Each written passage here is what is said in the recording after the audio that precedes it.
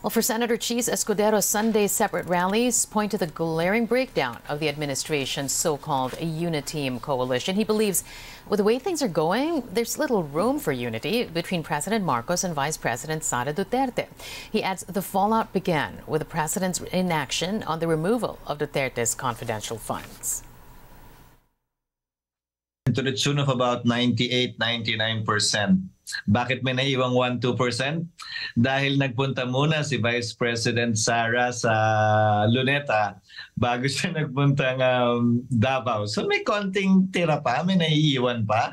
Maanghang na salita ang binitiwan ni Pangulong Duterte, ni Mayor uh, Baste, ni uh, Congressman Pulong sa kanyang presensya na hindi naman niya pinagtanggol ang Pangulo at hindi naman niya pinigilang magawa o sabihin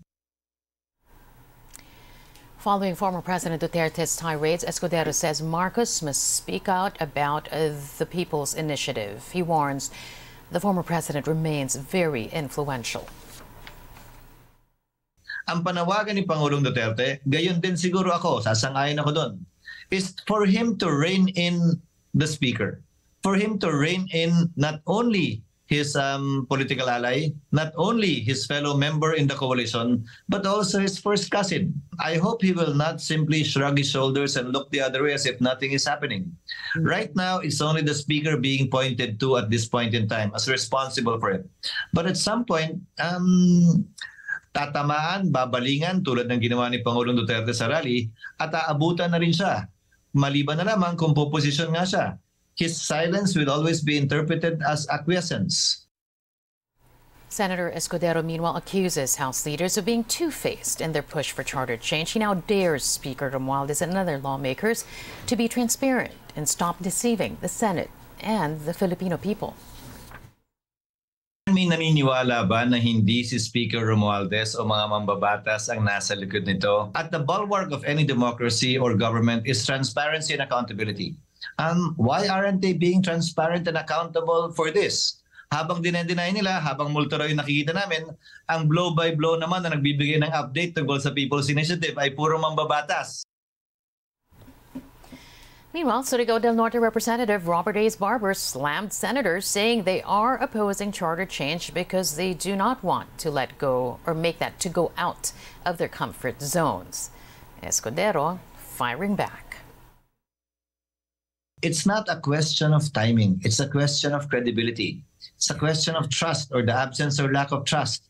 Lahat yan magagawa kung buo ang tiwala ng mas nakararaming Pilipino sa nagpapatupad ng pagbabago sa saligang batas na hindi ito magiging makasarili, na ito'y para sa kapakanan lamang talaga ng bayan. Ang ginagawa nilang um, strategiya, dahil ang Senado hindi makumbinse, burahin na lang sa equation pagdating sa pagpapalit ng saligang batas. As for Senator Joel Villanueva, he says the statement of Barbers only proves the end goal of the People's Initiative is to perpetuate House lawmakers into power. Senator Nancy Binay, meanwhile, reminded that the lower house any move to amend the charter should be for the welfare of the Filipino people. Former Senator Gringo Nasan weighing in on the rift between President Marcos and the Dutertes. On social media site X, Onasan said the effects of a divided society people and armed forces are unacceptable to every Filipino, considering the current global political issues that Filipinos must face with a united front. Onasan also appealing to President Marcos and former President Duterte to talk things out. Onasan is a former military official who played a vital role in the 1986 People Power Revolution that ousted the late dictator Ferdinand Marcos Sr., father of the current president. Onasan also led a series of failed coup attempts during the administration of the late President Cory Aquino. With a growing rift between President Ferdinand Marcos Jr. and his UNI-team allies, the Dutertes. See, Marcos's predecessor, Rodrigo Duterte, warned Marcos may suffer the same fate as his father if the current administration insists on pushing for a people's initiative to amend the charter. Pag pinilit mo ito, lalabas ka ng Malacanang kagaya noong panahon na pinalayas kayo. Ang Constitution is supposed to be a permanent thing. Huwag ninyong pakialaman ang Constitution Kasi yun ang bahay opisyal ng Pilipino. Anak ka ng... Bakit pumasok sa utak ninyo yung People's Initiative?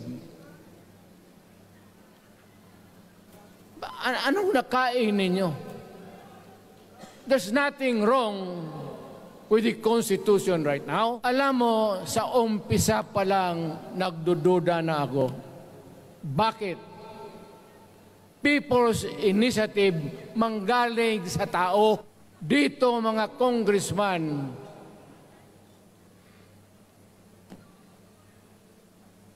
alam ninyo,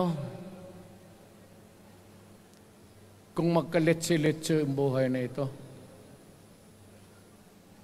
sabihin ko sa military, siraan ninyo yung Congress. Bakit binababoy ninyo ang bayan natin? Duterte also accusing Marcos of being a drug addict. Si Bongbong Marcos bangag noon, ngayong presidente na bangag natin ang presidente. May drug addict tayo na presidente. Nung ako'y mayor, pinakitaan ako ng evidence ng PDEA. Doon sa listahan, nandoon yung pangalan mo. Ayaw kong sabihin yan kasi magkaibigan tayo. Kung hindi magkaibigan, magkakilala. Eh, ikaw eh, pumapasok kayo ng alanganin. Mr. President, baka susunod ka sa dinaanan ng tatay mo. Diyan ako takot. Ayaw ko mangyari sa iyo yan. When he was president, Duterte questioned the qualifications of one presidential contender whom he claimed is an illegal drug user. He did not directly name Marcos at that time. The Philippine Drug Enforcement Agency for its part denies President Marcos was ever included in its watch list. Well, former President Duterte's son, Davao City Mayor Sebastian Duterte, meanwhile, called for the resignation of President Marcos. He made that remark during a leaders' forum in Davao City opposing charter change. The mayor also accused the president of being lazy and lacking compassion. All of these things that he is causing is oppressing the people. Kaya giuna niya ilang politika. Ilang self-preservation sa ilang politika. Wa nila giuna ang trabaho. So karon, imbes of opening up new opportunities, especially for those sa lower classes, kay para mo improve ang kinabuhi sa mga Pilipino, labi na sa mga kapos. Mr. uh, President, kung wala kay gugma, o wala kay aspirations sa imuhang nasod, resign. Well, also present during the event, the former executive secretary of President Marcos, Attorney Vic Rodriguez. Nais ko pong sagutin kung bakit ako naririto ngayong hapon.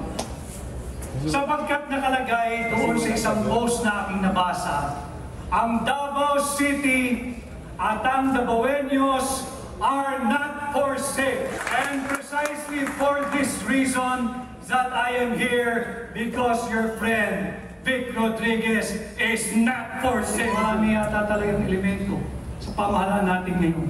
Ang iniisip lamang ay ang kanilang sarili, kung, mapa, kung paano manatili sa kapangyarihan at paano higit pang lustayin ang kabal ng bayan. Now, Speaker Martin Romualdez hits former President Duterte for opposing charter change.